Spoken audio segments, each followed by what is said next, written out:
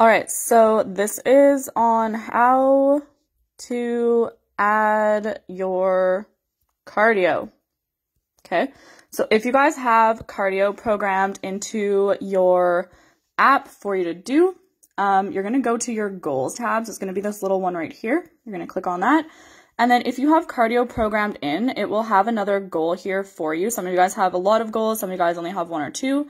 And it'll say something like spin three times 30 minutes or something like that. It might say any type of cardio, or it might be specific, or it might be like intervals or whatever I've programmed in for your cardio.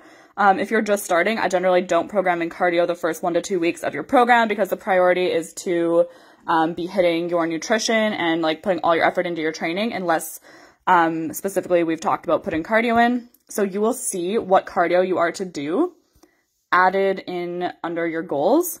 Then when you go to your calendar tab, so this little calendar at the bottom, um, you're going to hit that. And then, so let's say it's uh, June 7th today. When you're there, it's going to be a little different if you're on an iPhone or an Android phone, I believe. So it might be a little dot, dot, dot, or it might be this plus sign. So basically just make sure you're selecting the day, hit the plus sign. Then you're going to go to activity then let's put cycling in or whatever it was that you did.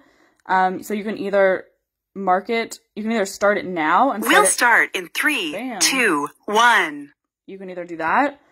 Um, or you'll just be able to click mark as complete. So however you prefer to do it, um, mark as complete, and then you'll be able to put in your time. So let's say you did 30 minutes. Um, you don't have to fill this out in detail unless you want to for your own personal use. Like I'm not going to be looking at how far you went or anything.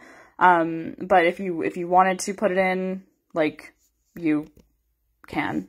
Um, and then you just hit save at the top.